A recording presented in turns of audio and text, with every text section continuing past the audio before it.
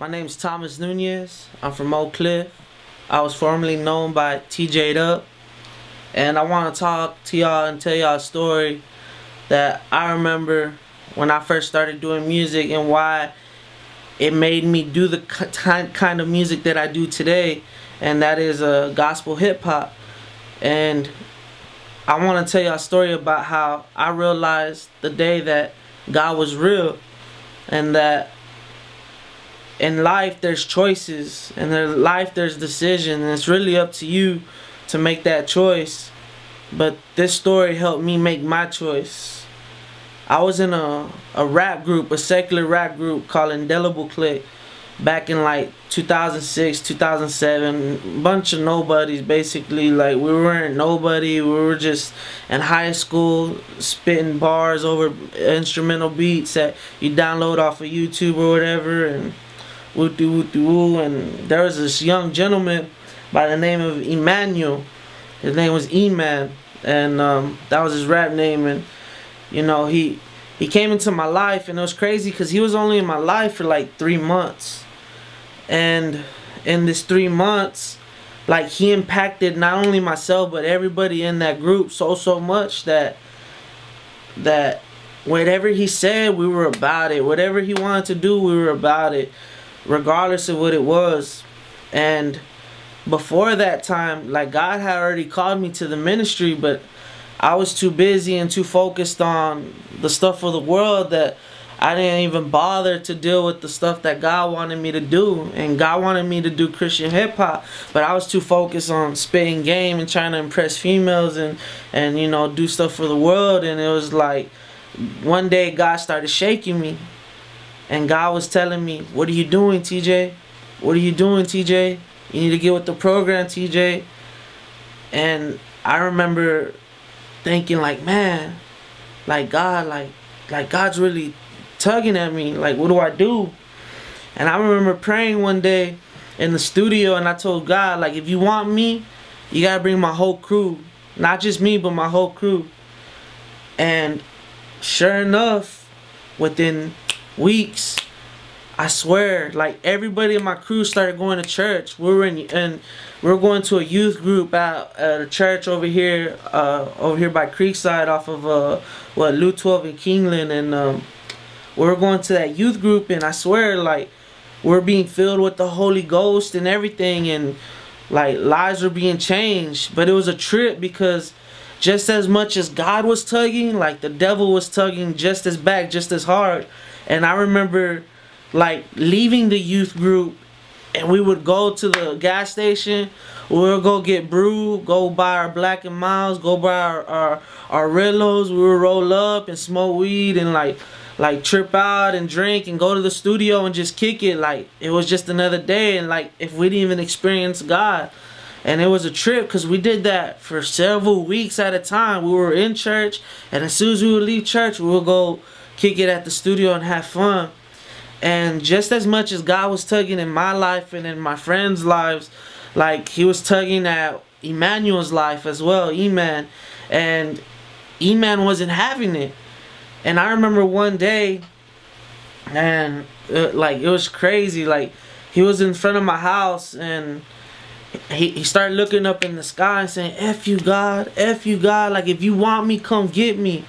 Like like like I'm not just gonna go down like that. Like he wasn't trying to go without a fight. And one thing I learned in life, and it was from that point, was like you don't do God like that. You don't call God out like that. Because God will show his face and God will show up. And I want to say that week, uh, like I had just started interning at a at a, a studio. It used to be right here off of Cockrell Hill in Illinois. And it was called The Shop, CDs and More. And uh, I was interning there and I got to tell my friend Emmanuel about it. And he was ready to leave the the rap stuff behind as far as like the group stuff. And he was like you know what TJ I want to focus on me. I want to focus on you and I want to focus on one of our other partners. And he was like he was like I want to take this rap stuff serious and you know with your ear like I believe we could do it. So I was like word like so if we're gonna do it we gotta do it right so I need you to come into the studio where I work at where I'm interning at and you know let's do everything professionally It's like, all right, bet. And we scheduled a day, and it was gonna be on the the following Monday. And uh, what was crazy about it, it was exactly one week from when he called out God in front of my house, and when that night, I remember it like yesterday. Like I was chilling with him and and we were watching the Cowboys game, and then halftime came up, and I told him I was like, "Say, bro, like."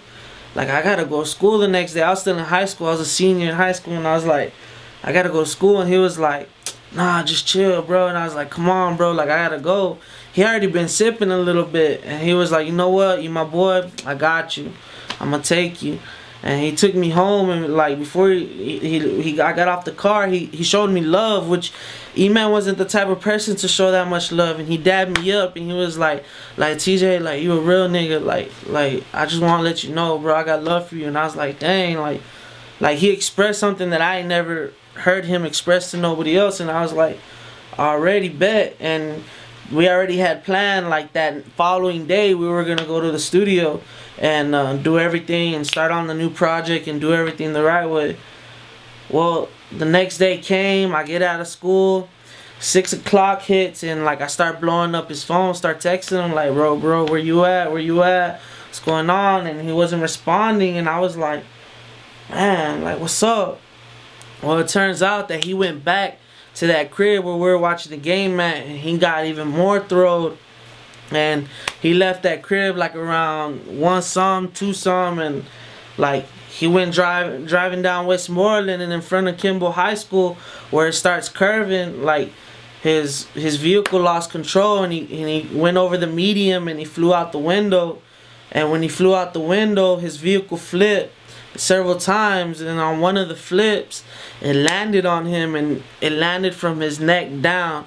And basically he was decapitated but the only thing that was left was his head and his head was looking up at the sky. And like after that day like I was like whoa when I found out the news and the way I found out is I was at the crib waiting for him to hit me up and he never hit me up. And around 7:30 I get a knock at the door and I'm like man I'm sad and I opened up the door I thought it was my mom's or something and it wasn't it was E-Man's dad, E-Man's brother, and I think his uncle or something. And I was like, what's up? And like, they just looked at each other and I was like, where's Emmanuel? Like, where's E-Man? They're like, last night at this time, like, he passed away. And I was like, passed away? What do you mean? I was with him last night. Well, at this time, like, he passed away in a car accident. And he's gone. And I was like, what? And they came to pick up his music that he had been recording at my crib. So I gave him a USB and I gave it to him and they left and it, it didn't hit me. And you know, three days later, you know, we, we had the burial and went to go do the viewing and when I saw him in that casket, that's when it hit me. And I remember busting out in tears and crying like a baby because I knew that God was real. Because a week prior to that event happening, he called out God and told God, God, if you want me, come get me. And I know there's a lot of y'all cats out here that God is tugging on your heart and God is trying to reach out to y'all. And some of y'all are artists, some of y'all are producers, some of y'all are rappers. And God's trying to reach out to y'all and tell y'all, hey, what are y'all doing? I need you to do something for me. I called you to do something to me for me. The Bible says that many are called, but few are chosen. There's a possibility that you are chosen, but you're too focused and distracted on the world that you're not opening up your eyes and realizing that there's a greater opportunity for you. Great the Bible says that uh that wide is the road to hell, but narrow is the path to heaven. Like like that's not something that everybody has that opportunity. And if you have that opportunity and if you know that what I'm saying has to do or relate to you like like take that opportunity. Like like what's holding you back? Like like get up. Be righteous. Don't be wicked. The bible says the difference between a righteous man and a wicked man is that a righteous man always gets back up and a wicked man stays down. Why have you been staying down so long? Like, stop. Like, are you tired of all the negativity and everything in your life? Like, do something about it. Like, he's waiting there. The Bible says to come as you are. You smell like smoke. You drugged up. You high. Whatever on lean. You barred up. It don't matter. Like he's right there with open arms waiting for you. And if I could say anything, like that's what I would like to say. And that's to any artist or anybody in general that just needs to hear an encouraging word. Like, like God is real. And that's not a game that you play with. And that's someone you don't play with.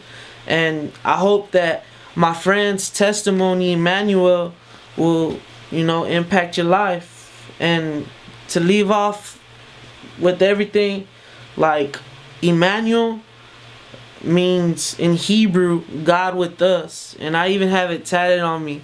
And like, I feel like God sent him on purpose to show me that. And that was over 10 years ago. That was back in 2007 and i ain't been the same ever since. I ain't perfect but i ain't been the same ever since. My name is thomas nunez and that's a story about how i figured out that god was real